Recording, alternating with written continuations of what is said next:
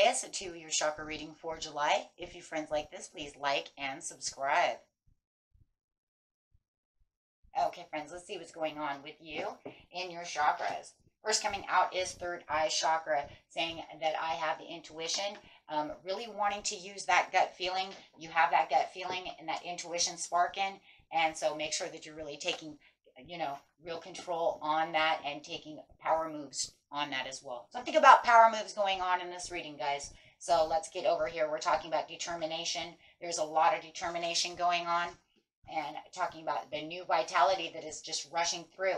Once you take these steps towards the over determination, and I mean real, like grab it by the horns over here, um, you will really truly see what is going on within the situation and the new vitality will begin really giving you this fresh new start within the situation. Um, we have the Emerald Tablet activation. Uh, this is the cosmic or, uh, ordering, divine alchemy, and conscious manifest and manifesting.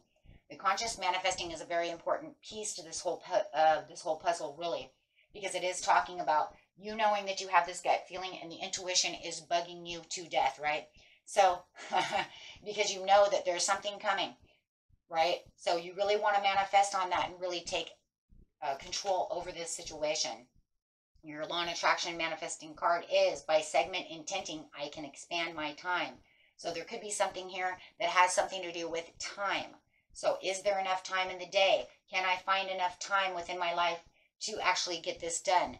Why does it feel like it's at a standstill? Is it going, you know, um, is it coming quick enough? Anything that has to do with time. So as you become efficient with your segment intending, you will expand your usable time. By being clear about what you want during each important segment of your day, you will harness the law of attraction to do its work. And it will require far less time for you to accomplish much, much more. So you have to, right, you're over here in the clear thinking. So you definitely want this, right? Because this is going to actually expand time.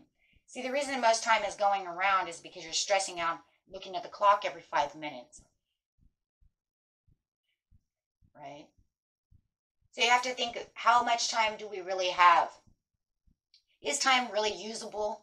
Or is it just a concept within our mind and the way that our internal clocks work? But the problem is, is that we're always looking at the clock and we have a million things to do. It feels like we can't get things done. Within the universe, there really is no time. Time is an earth-based thing. There's no true time. That's why the perfect timing of the divine is the perfect timing. It's not 100% time based because there is no real time. Time is what we make it and how we make it. The only way that we measure time is by the sun, right? Morning to night.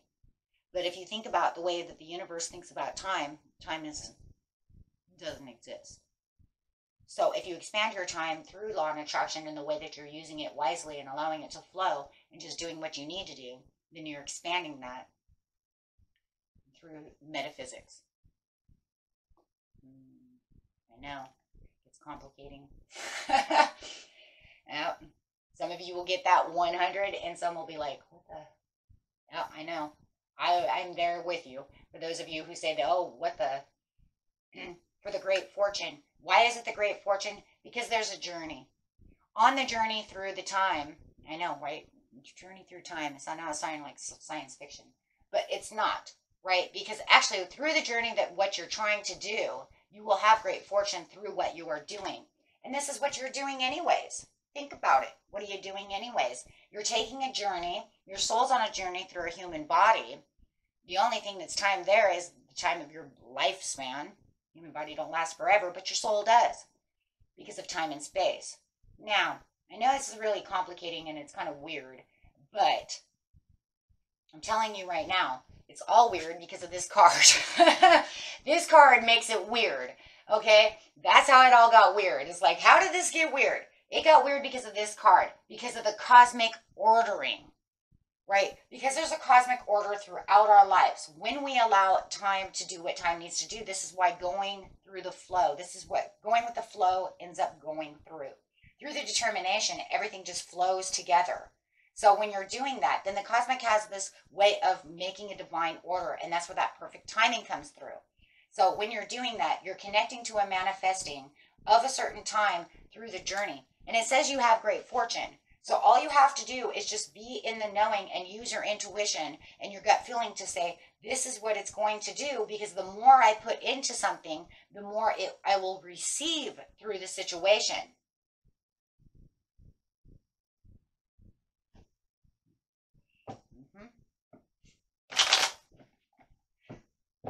Maybe my readings are the only ones that get complicating sometimes. Okay, I'm not trying to confuse you. but that is exactly what it's saying. And it's because of this emerald temple, uh, this emerald tablet. The emerald tablet is all about timing. So when you make in, so when you are intending on expanding the time, the time then comes through. Right? Or the harvest. There it is there. Yeah. Because you have this harvest and this rebirth, but the rebirth is also birthing of new to allow everything to harvest on its own time in the way that it's going to get to the goals of what you really truly want. Right? And it brings out this more hopeful, new vitality within yourself, allowing the chakras to really go so that way you can actually have more control of the situation. So this actually puts you more in control of a situation than the situation allowing it to be controlled over you. Now, usually the situation is more controlled over you because of the thinking, of the thinking that it will be this way, it could go that way. If you're making it too time based, right, and you need it this way, it usually doesn't work exactly like that, right, depending on what you're looking for. Obviously, within this reading, this is a more time based reading. This isn't something you know, and I know is not going to come overnight because it says you still have a journey. You're on this journey and you're journeying towards this great uh, fortune and, yeah, future. And that's really what it is. So, in the present now, you're really what you're doing is you're activating your chakras to put yourself onto a flow so that you can get exactly where you need to be within the next few months, weeks, maybe days. Depends on the situation. But whatever it is with the King of Coins, there's prosperity in that you know will bring in the prosperities and something that you can actually hold tight to. And not only are you going to hold tight to um, the way you were thinking and doing intentions, but you're also going to hold tight to that vitality, which is coming through it as you're manifesting through the situation. I just keep thinking father time over here. Um, two of wands over here and this makes more decisions. And the more that you're going to intend your your time it's going to allow more gates to open and for you allowed to walk down that path to better decisions and better things coming at you. But it's yeah it's all about the way it's all flowing. And it does it brings in the ace of cups. It really does bring things flowing towards you because of the way now you're expending time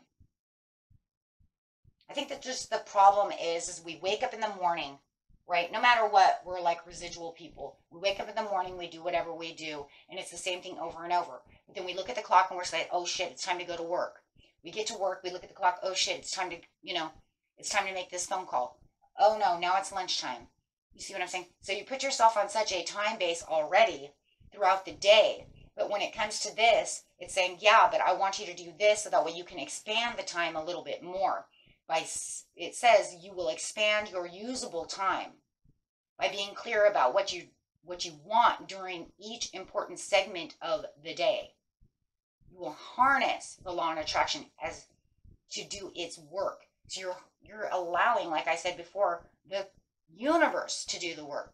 You put out the intention and you continue to keep being determined to feed the intention, right? Because things are not going to just drop through the ceiling. We've talked about this right into your lap.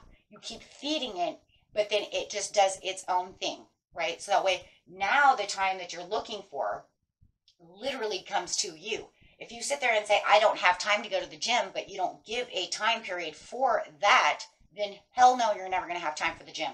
But if you gave 20 minutes after work on your way home to go to the gym or something like that, right? Now you made it to the gym. And when time continues to keep going, it won't feel like it's doing anything except for now you've expended your time. And it won't feel like something that is extras. The intention just ends up flowing. And that's the way that this is going as well. I guess that's the best way to to say that because with each thing that we add into our life, it adds a new journey and it adds time to that. And then next thing you know, it's just natural. It's natural, guys. That's the way it is. But if you think of it as this is overextending my time, then it's never going to happen. Or I can't do this, or I can't do that. Really? You can't? Well, because there's not enough time in the day. Really? Have you really looked at the day? See, because most people are so funny. You know? They have that one day off, but they're doing all these other things, but sometimes we have to be proactive to be able to do other things. So visualize abundance in all fronts. So visualize. That's a great way. Thank you. That is a great way of manifesting. Visualize the segment of adding that to the day. Wow. And then therefore it comes whether it's a job, whatever it is you're doing. Hmm. And that's a great way of seeing it. Because it says, great spiritual power that everything you have visualized eventually becomes reality. Hold a steady vision of that which is beautiful, healthier, positive, and filled with blessings, and that is what you experience. Or in this case, just take it through the time. This is what you want, but I don't have time. Raise, right? Now you're going to get, wow. Holy crap. Some of you are getting a raise or some kind of promotion. I got three cards, so this one says, Congratulations, an increase in your abundance flow awaits you. This is a result of your positive focus and willingness to take action based on your divine guidance. Keep up the good work. Take what resonates. Face your financial fears. When you're honest with yourself about fears of success or failure, there can no longer control you. Be free of hidden fears by exposing them to the light of awareness, and you'll realize that you, in fact, have nothing to fear, and that every successful person has struggled with release these self doubts. So take whichever ones those are, okay, and that will help you. And however it is in expanding time. Okay, maybe it's expanding time to get to your financial freedoms maybe you need another job and you're a little fearful that you can't find that time. However. And that was it for you, my friends. Until next time, peace and love. Bye bye.